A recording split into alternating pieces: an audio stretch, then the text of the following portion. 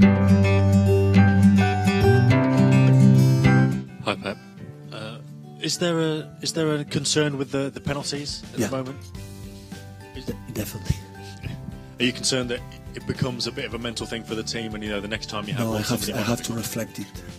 I have to reflect it. So always I give the confidence to the players to take it, but I have to reflect it. Maybe I have to take the decision which the guy was going to take. Not for Gabriel today, but Sergio missed too, so and Raheem missed uh, one and a half in uh, against Wolves. So we are not safe. It's a, in that level in this knockout system.